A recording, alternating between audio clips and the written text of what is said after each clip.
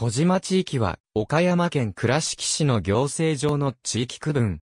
同市南東部に位置し、倉敷市役所小島支所の管内にあたる。かつての小島市に相当し、1967年2月1日、倉敷市、玉島市との3市による、新設合併で改めて、倉敷市となった。本校では、小島市についても述べる。児島市街と瀬戸内海児島は、瀬戸内海に面した岡山県最南端の児島半島西部に位置する、面積約80平方キロメートル、人口約7万5千人の地域である。また、1988年4月10日に完成した瀬戸大橋ルートの本州側の起点でもある。古くから海運業や製塩業、繊維業が栄え、現在も学生服、ユニフォームジーンズ等を代表とする繊維産業が盛ん。日本産ジーンズ発祥の地としても知られている。観光面では、瀬戸内海国立公園の主要景勝地の一つである、鷲場山や王子が竹、中世からの港町である下津井などを有する。中でも、鷲場山は、瀬戸大橋と瀬戸内の多島海を眺めることのできる絶景ポイントとして、県内有数の観光地となっており、市内の観光客数でも倉敷美観地区に次ぐ。近年では、ジーンズの生産工房や、鷲場山、歴史をめぐる定期観光バスを走らせるなどして全国にアピールしている。小島の立地する小島半島は、近世初頭の干拓により、本州と陸続きとなる以前は島であった。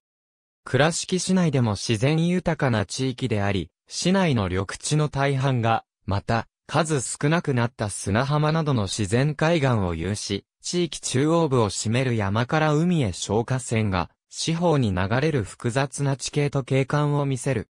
海に囲まれた地形的特徴から、大きな河川は発達せず、古くから多くのため池が作られた。大部分は現在でも維持されており、地域の景観的特徴の一つとなっている。地域を地形的に区分すると、北西側の鴨が辻山系から北東の床山系を境に大きく二つに分けることができ、北側で小島湾へ向かって東流する里内川、南側で瀬戸内海へ向かって南北に長い小島丘陵の西側を南流する小田川、同じく東側を南流する下村川といった数キロの消火線沿いに比較的まとまった平野が見られる。これら三つの平野部を除いて水田に適した低地に乏しい一方で、その地理的な条件を活かして、古くから園業や漁業、海運業、織物業などの産業が発達し、交易や信仰の拠点として、経済的にも周辺地域より優越する場である、いわゆる都市的な場であったと言える。現在の小島市街は、地域南東部の味の湾に面する近世からの市街地を基盤とする味の屋下の町、他の口などを中心として、海沿いや、丘陵間の低地を流れる小田川、下村川沿いを中心に形成され、海に沿って、約7キロ途切れなく続く。市内でも高密度なまとまりとなっており、一部は、沿岸部北側のなだらかな丘陵にも広がる。また、半島の付け根の郷内川沿いには、中世に繁栄した熊野権現を中心とする郷内地区が小島の東半分を占める床山山上には近世に繁栄し、現在も地域の参詣客を集める湯河大権現がそれぞれ、社寺とその門前町を残しており、さらに、半島西部の水島灘に面して、古代の荘園と港の風景を今に伝える、通り生が、南端の備え山瀬戸に面して、古い港町の下津井が立地する。備え山瀬戸と、瀬戸大橋、小島、あるいは、小島という地名は、有史以来一貫して、当地を含む、現在の小島半島一帯を示す故障として、使用されており、歴史のある地名と言える。最古の聖種である、日本初期の国海神話では、キビコスあるいはコスと記され、古事記では、キビ小島という故障で登場する。これらが、司書における、小島の初見といえ、小島は、本州や九州などに次いで古代日本列島を構成する主要な島の一つとして認識されていたことが伺える。以上のように過去には種々の漢字表記が混在し、字は、地語、子、子など、島は、巣や島などと表記されることもあった。1946年の東洋漢字表国字以降は、小島と表記される。瀬戸内海のほぼ中央に位置する小島の海は、四国との間にかけて広がる備江山瀬戸海域に属し、また、鷲場山を境として、東側の主に、小島市街が面する海域は、味の湾、西側で、通り生や塩ナスが面する海域は、水島灘と呼ばれている。また、味の湾は、近年、魚の産卵場所としての重要性が認識されている、アマモ場として、瀬戸内海最大のものが存在する貴重な海域でも、ある。小島の山は、おおむね300メートル以下の山からなっており、岡山県内で見ると、瀬戸内丘陵群に区分され、倉敷市の地形地域区分では、小島山地に属している。小島地域には、1994年時点で614カ所のため池が存在し、その数は市内でも突出して多い。そのうち約300カ所は17世紀中頃に小島軍奉行の石川前衛門により築造、または拡張整備されたものであると伝えられている。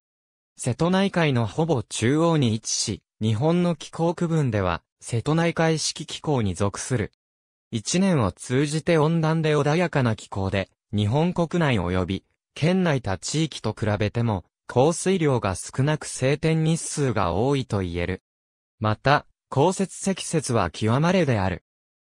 気象庁の観測所は、小島地域には設置されていないが隣接する、倉敷地域と玉野市に設置されており、倉敷地域が内陸で、盆地上の地形であるのに対して、同じく、小島半島に位置し、瀬戸内海に面することからより当地域の条件と近似すると考えられる、玉野市の玉野地域気象観測所の観測値によると、年平均気温は、摂氏15.7度、年平均降水量は 1021.6mm で、年平均日照時間は2131.9時間である。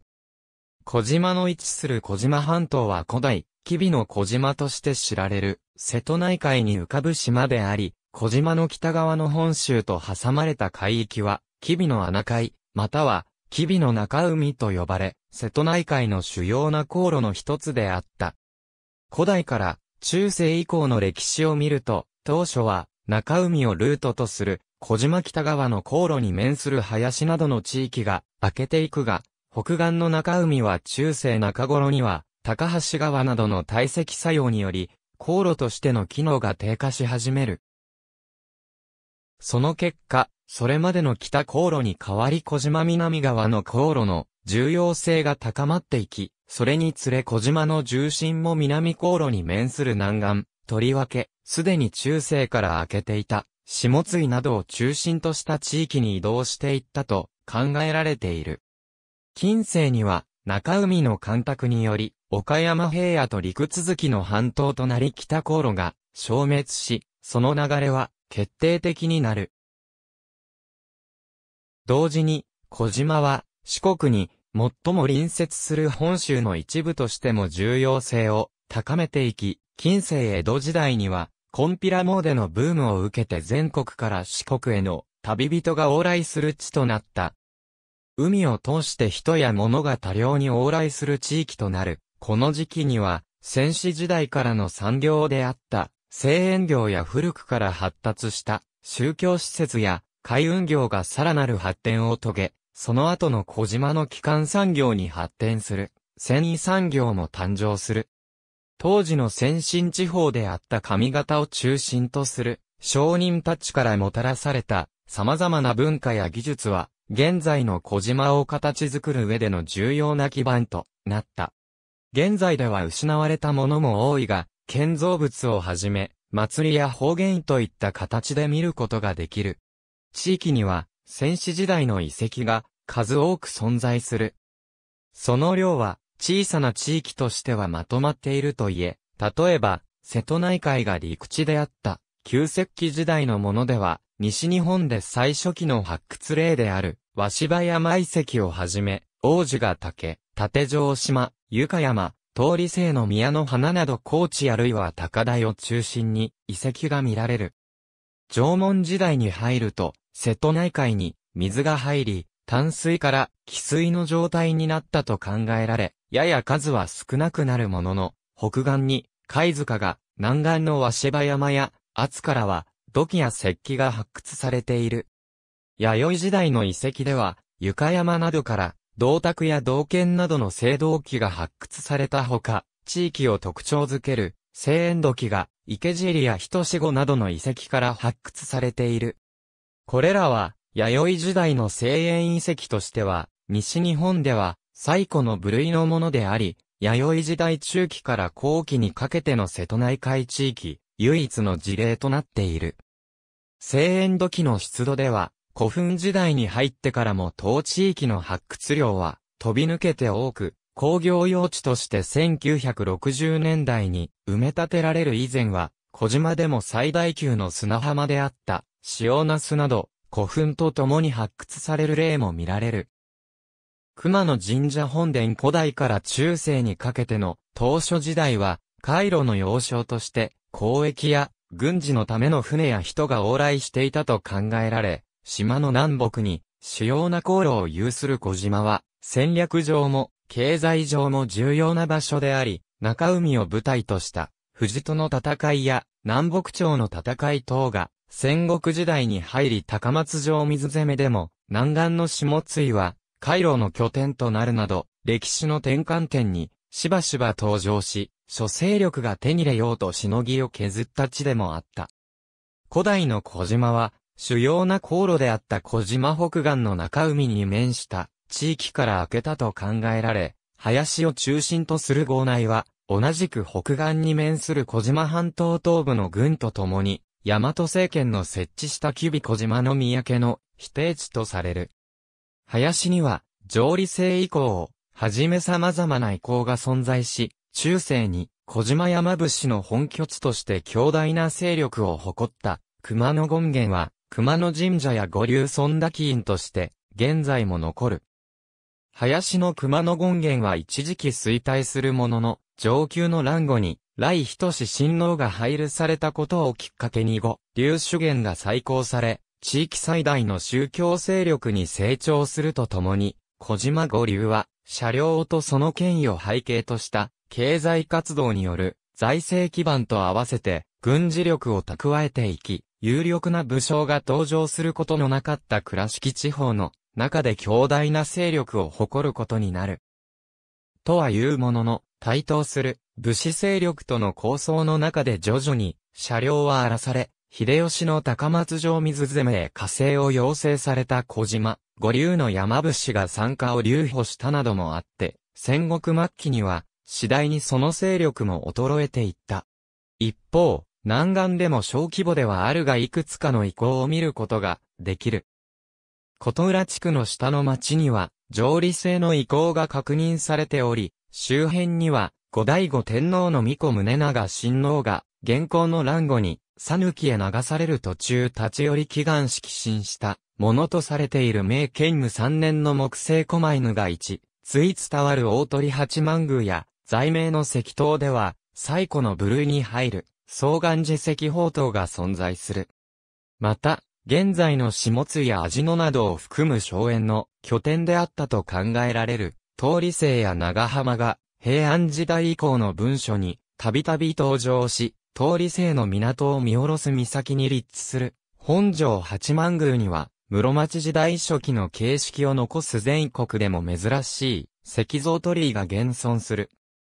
そして中世初期にはすでに地域の主要な港湾として認識されつつあった下津は中海の航路としての機能の衰退に合わせるようにして中世中頃から徐々に海運の拠点としての重要性を高めていき発展を始めていた。下津城石近世には中海の神殿開発によって小島は陸続きになり航路が完全に小島南岸へと移動した結果下津井は急速に成長し、地域の物資の集産地としての地位を確立する。戦国末期には、浮田市により下津以上が築城され、江戸時代に入ってからも、池田市の下で拡張されるなど一国一条例が発せられるまでの期間は、城下町でもあり、北前船の西回り航路が開設されると、幹線航路の港としてさらにその地位を高め、海鮮業をはじめ問屋や酒屋、金融業が起こるなど、さらなる資本の蓄積が進んだ。そのような流れの中で、周辺の地域でも江戸初期には、諏訪木伝右衛門により、広大に進められる周辺の大規模な塩田開発の、宣弁の地とも言える圧に、塩浜が開かれるなど、小規模ながら、次第に開発されていった。江戸時代中頃になると、当時流行していた、コンピラ参りの旅人が立ち寄る港町として賑わい、すでに主要な港湾となっていた、下津井の他にも、下村や他の口が四国への中継、都会港となり、開かれてき、岡山藩主池田家の庇護を受けていた湯河大権現は、コンピラとの両参りを歌うことでコンピラ参りの参拝客を集め、門前町の床には、旅館や芝居小屋を有する門前町が開かれる。同時に、他の口と、下村は床山への参拝客を迎える港としても、発展していき、元禄期に大規模に実施された、小島北側に位置する小島湾の干拓地に大量に、栽培された綿花の余剰生産物やコンピラオーラを、行き来する旅人を媒体とする経済の影響で、それまでの主要産業であった、製塩業に加えて、織物業などの産業型の口などに成立していった。その中で、江戸古期には、地域の主要な産業の一つに発展した織物業による旅の販売を通した資金を元手に、後の塩田王、野崎部左衛門により行われた塩田開発をきっかけとして、地域の塩田は急速に大規模化していく。塩田や先浜のお膝元であり、以降小島の中心地となっていく味野が台頭する。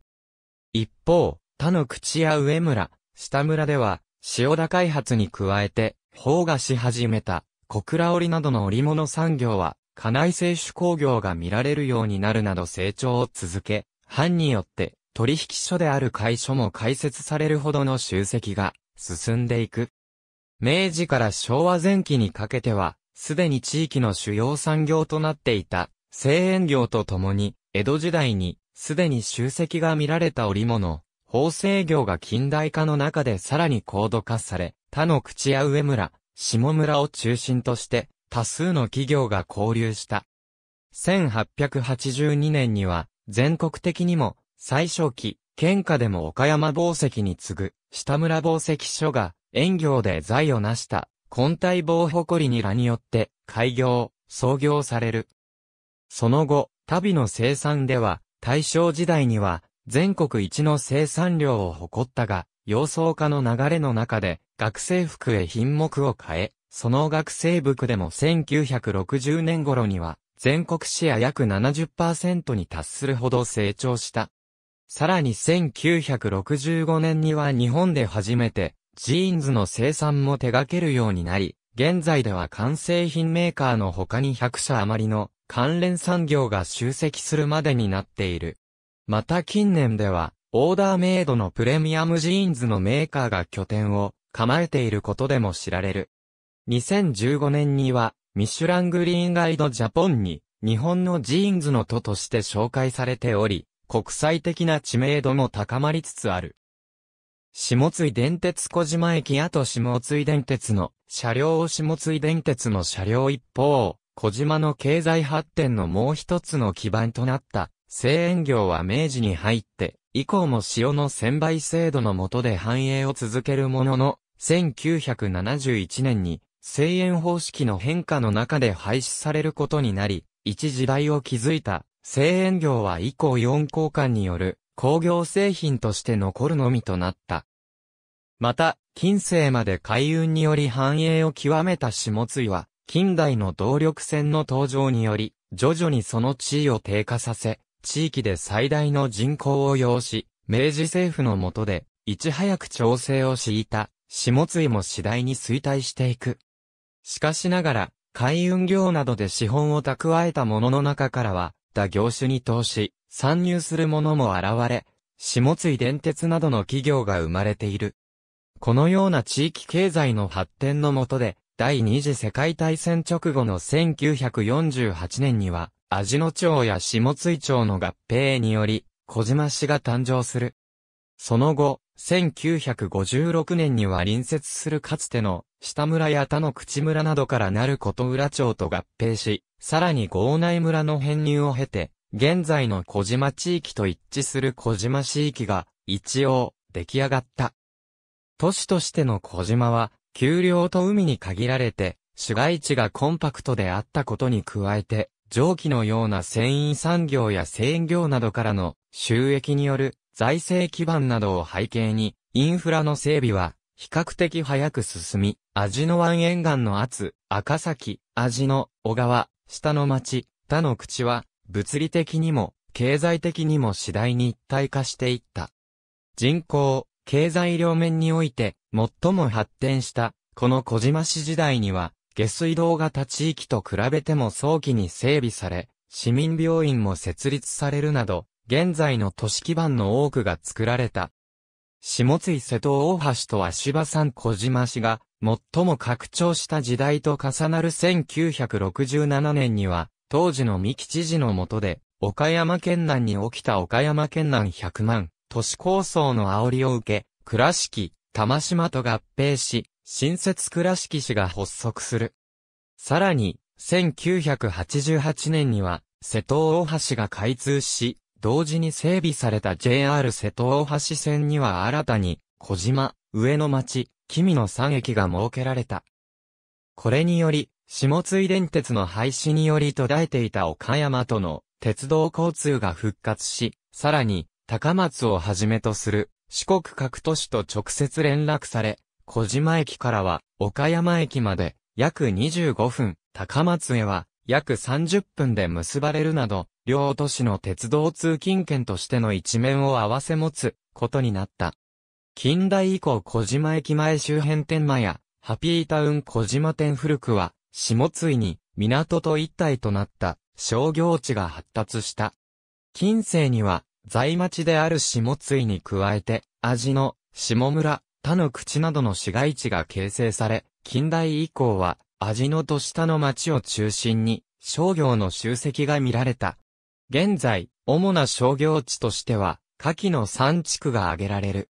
地域内に支店を置く、金融機関小島の繊維産業は、近世の小倉敷や、真田紐などの織物業に起源を持つ。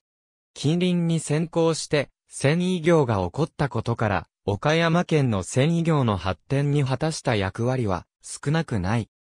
明治以降の洋装化に伴い、大正時代には、主な製品を学生服へ転換。現在では、全国の男子学生服の約70%が生産され、大小様々な学生服メーカーが揃う。企業の制服やユニフォームなどの生産も盛ん。かつては、近隣地域だけでなく、四国、九州からも出稼ぎ労働者を集めたが、現在では、多くの企業が中国などの海外に生産拠点を持ち、国内に残る工場では中国からの労働者受け入れを行う企業も少なくない。制服等で培った厚手の生地の縫製や染色などのノウハウと産業集積を活かして、現在ではジーンズも主要な製品となっている。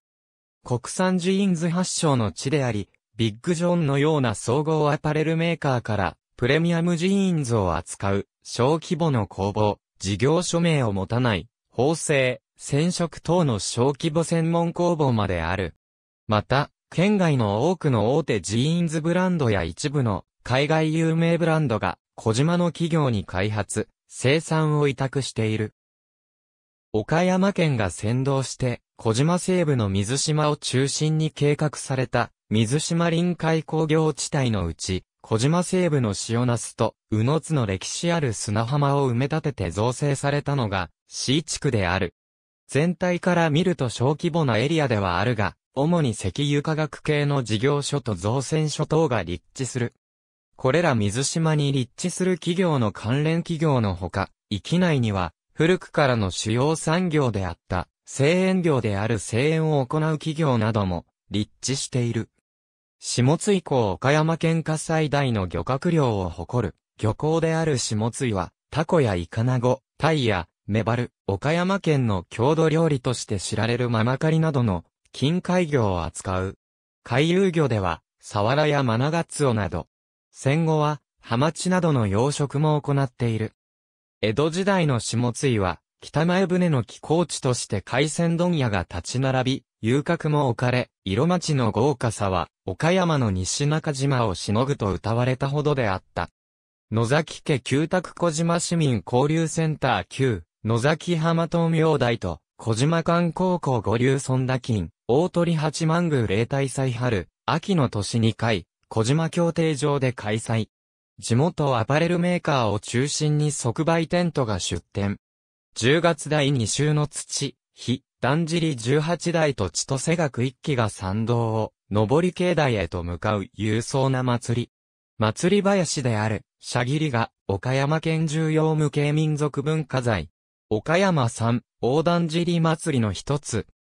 約1300年の伝統を持ち、旧暦1月23日夜から24日、早朝にかけて、全国各地から参集する山伏により燃え盛るカを囲み取り行われる山伏問答、ごま友などを見ることができる。3月、市内各地で行われるウォーキングイベント。8月、平成11年から開催していたファッションタウン小島国際トライアスロン大会は平成20年8月第10回大会をもって終了したが平成23年に現大会名で復活した。小島の酒は同じ小島半島の軍を中心に小島諸白として中世から知られ市街の背後に控える花崗岩質の山から得られる地下水良質な備前の米、立中当時などを背景として、多くの酒蔵が立地する。小島地域内に、現在も残るのは、偶然にも江戸中期から後期にかけて創業された酒蔵ばかりである。下津井から見た、瀬戸大橋昭和34年の港湾法による、指定以前には海に面する、部落ごとに港を有していたが、現在では、港湾法上の港湾の一部として取り込まれた結果、表面的には、その固有名が失われているものも多い。中世から海運業で栄えた、吹上港、田野浦港、下津港の三港からなる下津以外にも、近世に発展した他の口港や下村港など、四国への渡船場として栄えた港をはじめ、地域で作られた塩や小倉式などの商品の積み出し港として機能した港も多い。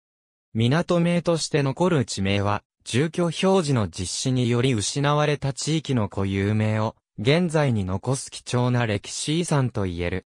近代以降は、下津以降や琴浦港などで、四国へのフェリーが運航され、1910年に、隣接する玉野市に、宇野港が実行される港連絡船が開通した後も、存続したが、いずれの航路も廃止された。小島地域は、電波銀座と呼ばれる、瀬戸内海に突き出した形になっており、四方八方ありと、あらゆる方向からの電波が飛び交っている。放送においては、地元岡山県に加えてとりわけ、香川県からの電波が容易に入る環境にあり、地形の関係で、県内の送信所よりも、良好に受信できる場合がある。小島地域では、新東山にある小島中継局を受信するが、同局は TSC テレビ瀬戸内が電波を出していないため、小島中心部では高松局を、君地区では岡山局を受信している世帯が多い。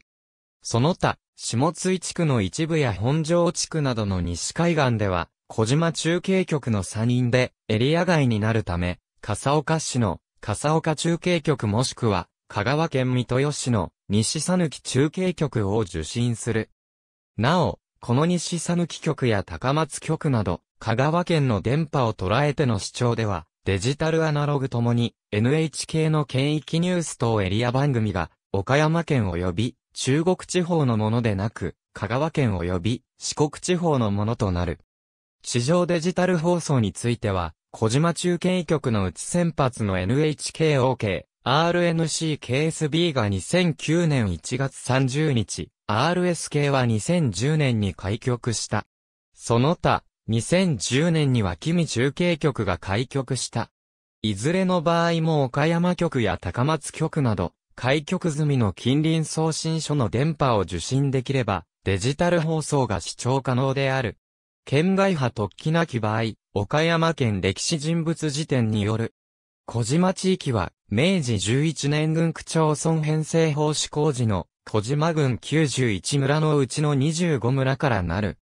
25村は、町村制施行後に11村に集約された後、まず、下津井村と吹上村が明治29年に合併して下津井町となり、さらに昭和23年4月1日には、下津井町と味野町など三町一村が合併して、小島市となった。さらに、琴浦町との合併や、郷内村の編入を経た後、市政施行からほぼ20年後の昭和42年2月1日に、倉敷市、玉島市と合併し、新たな倉敷市となる。倉敷市役所小島支所の管轄区域は合併以前の地域を継承している。小島市に関するカテゴリー。ありがとうございます。